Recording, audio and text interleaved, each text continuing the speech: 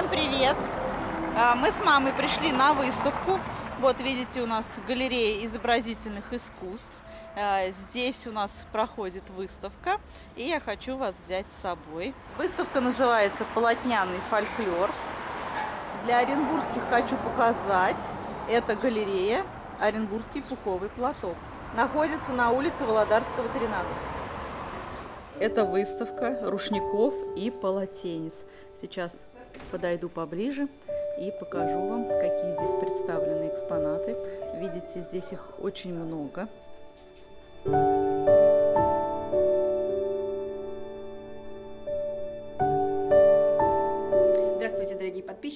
хочу пригласить вас на выставку, уникальную выставку, выставка, которая сделана к 70-летию замечательного нашего коллекционера, профессора Института аграрного инстит- э, государственного университета Оренбургской области э, Аллы э, Владимировны Федоровой. Э, Человек э, также уникальный, как и эта выставка, потому что большая часть этих вещей принадлежит ее частной коллекции, а часть принадлежит этнографическому музею Аграрного университета. И вот они здесь все собрались в нашем зале и вот так ярко представляют творчество русских, татарских, башкирских, чувашских мастериц. Ну а что такое полотенце, рассказывать не надо, потому что это и оберег, это то, что сделано руками, то, что туда вложена душ, душа, что это действительно такой, такая вещь, которая сопровождает нас с рождения. Ребенка мы принимаем на полотенце, и гроб мы опускаем в могилу на полотенцах. Поэтому полотенце всегда с нами, всегда рядом, и в радостные дни, и в, печальные дни. Уникальная вещь по, по всем понятиям, поэтому приходите, смотрите, наслаждайтесь. Много красного цвета, и я считаю, что это у нас такой а, аленький цветочек здесь распустился на нашем, в нашем городе, Оренбурге, в многонациональном городе, и выставка такая многонациональная получилась. Спасибо. А до какого числа будет Ну, она проходить будет у выставка? нас до 19 мая. До 19 мая. мая. То есть, да, все желающие могут посмотреть. Кроме понедельника, вторника, в любой другой день, субботу, воскресенье мы открыты для посетителей. Пожалуйста, приходите.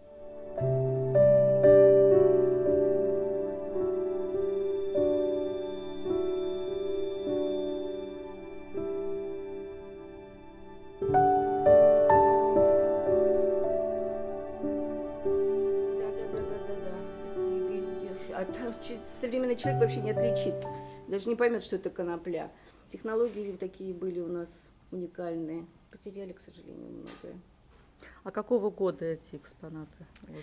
Начало века, первая половина 20 века, вторая половина 20 века. Здесь каждому полотенцу надо подходить индивидуально, поэтому где-то сохранены традиции, где-то что-то из журналов мод, э, из журналов, которые пред- предоставляли россиянам вот эти вот изображения для вышивок.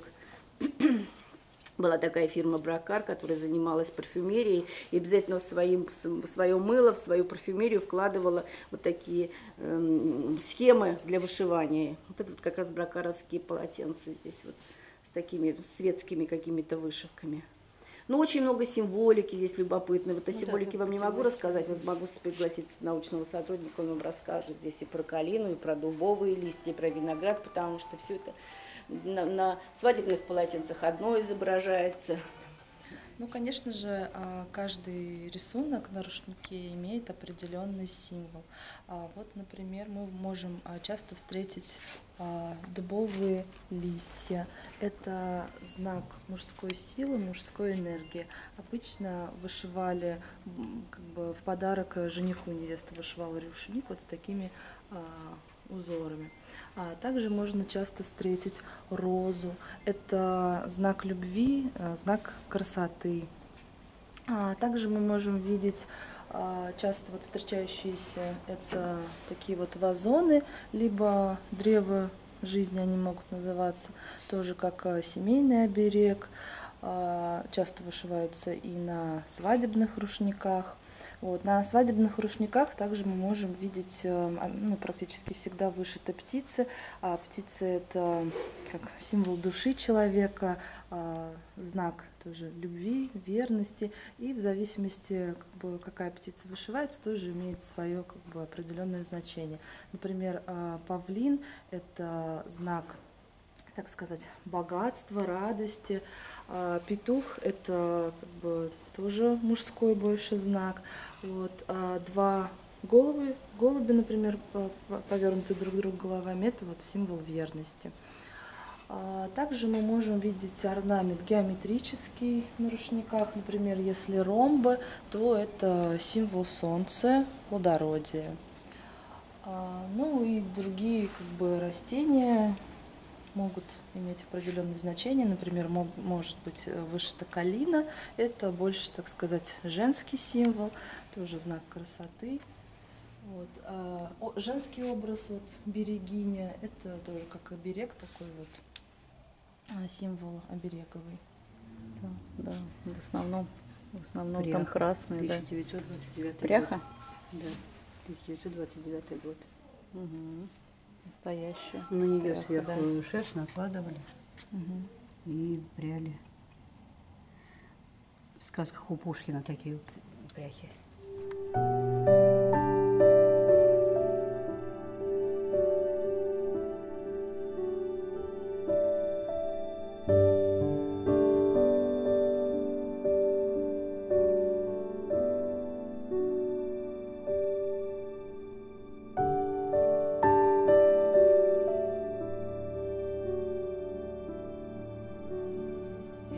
Другая техника. Здесь уже больше на гладь похоже.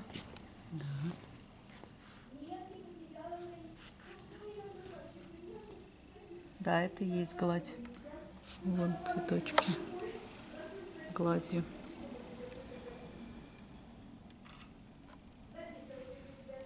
Татарские полотенца, тесно связаны с обрядами, они часто вводили в состав приданного входили в состав приданного невесты. Также полотенца преподносили в качестве подарка на Сабантуй, например, и, конечно же, служили украшением жилища. Смотри, значит, татарские больше гладью вышивали, а вот там это украинские и русские. Вот те. Шовчиками, как Шовчиками и говоришь. крестиком, да. Абика.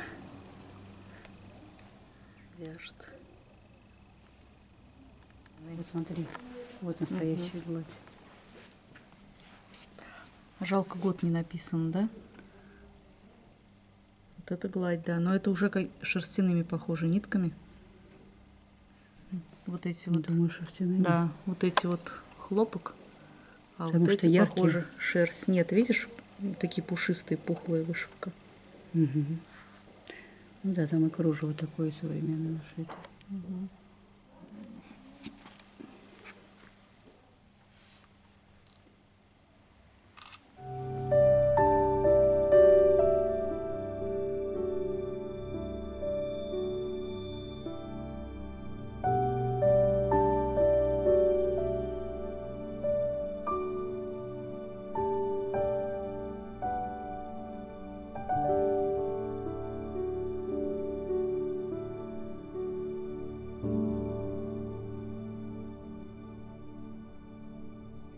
Чого нам треба? Чего нам треба? Вышивать с украинским Да, это уже украинская. Вот девчонки. У меня много девчонок из Украины смотрят. Те, которые висят вот с двух сторон, можно смотреть, потому что у них э, двухсторонние надписи. Пошли Боже. Пошли Боже с неба. А, да, это, наверное, каравай. Да, для каравая длинные такие узкие. Ну да, середина пустая, каравай. Давайте. 36 год, и видишь, инициалы чьи-то. да, и то. 1936 год, да. А это 61 вот написано. И видишь, С буква, возможно, кому-то именной. Именной, да. Кому-то. Он уже, смотри, зашитый, шитый, перешитый. Ну, Где-то лежал Ну, конечно, А вот столько лет. в закромах. Вот тоже с инициалами. И вот 61 года это свадебный рушник. Они все в центре должны были быть пустые, Да, чистые, только концы вышивались. Вот, и причем концы на один конец должен был встать жених, на другой невеста, и девушка, когда вышивала, она пометочки делала, где на каком конце должна стоять невеста, на каком жених. Они не должны были быть шивными, никаких мережек не должно было быть. Ну, где-то в центре, конечно, края украшались вот кружевом всевозможным, а нигде швов не, было, не должно было быть, потому что рушник – это река жизни, и шов это какие-то препятствия, а хотелось же всем жить Ну да. хорошо.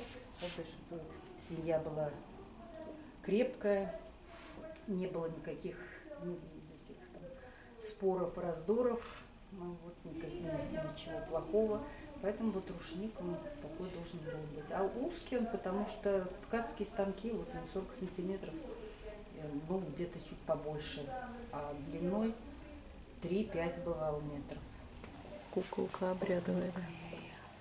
Такие мне делать. Мама раньше делала такие куколки обрядовые. Мам, куда ты их определила? Я полностью коллекцию сделала с 15 кукол и отдала ее в детскую областную библиотеку на выставку. Они там сделали экспозицию, выставку. Это наш оренбургский пуховый платок. Эта галерея называется Оренбургский пуховый платок, и здесь проходит выставка рушников.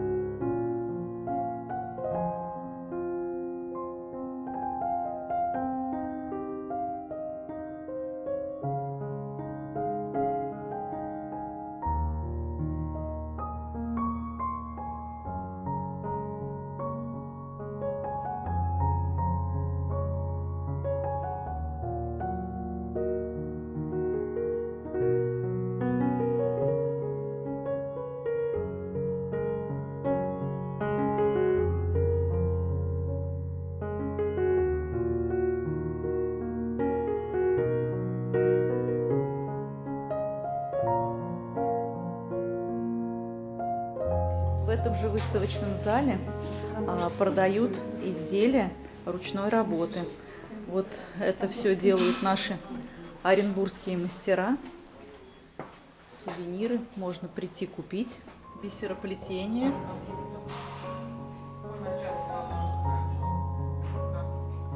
Это техника валяния.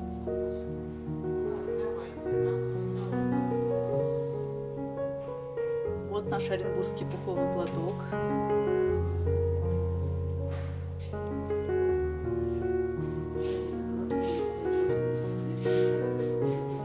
Это картина маслом. Здесь не только оренбургские художники. Это картина из набережных Челнов к нам приехала. Также книги здесь можно купить. Это керамические магнитики. Это валяние. Вот бисерные броши. Колье. Это украшения. Текстильные, да, деревянные бусы на льне, да? Открыточки ручной работы.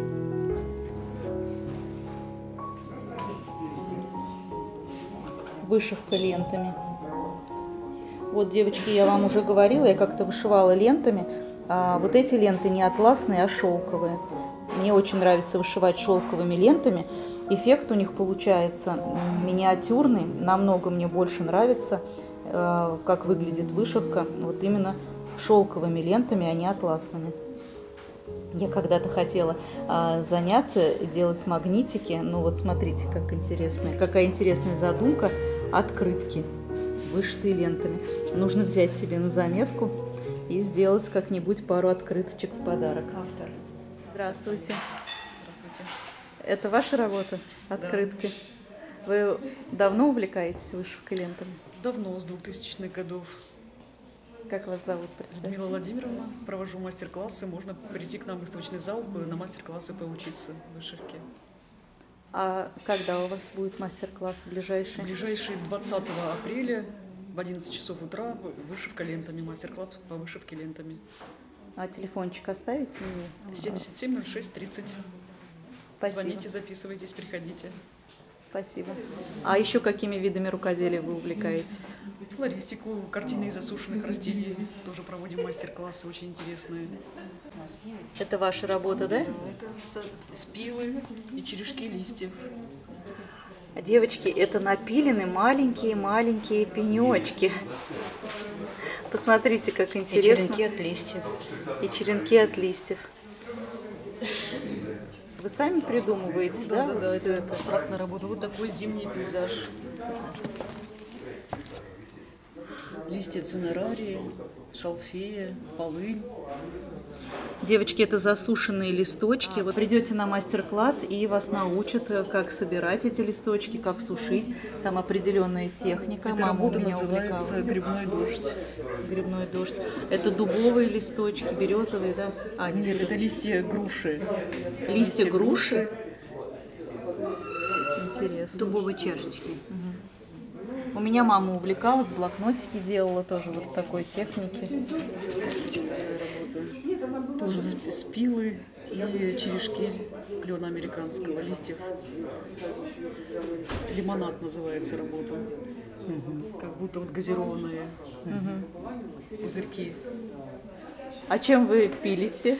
Лобзиком. Лобзиком? Лобзиком. Все самостоятельно, да? Без помощи да, да. мужа? Ну вот справляюсь. Спасибо вам большое за такие интересные работы. Также здесь можно купить товары для творчества, краски художественные, рамы, холст, игрушки ручной работы.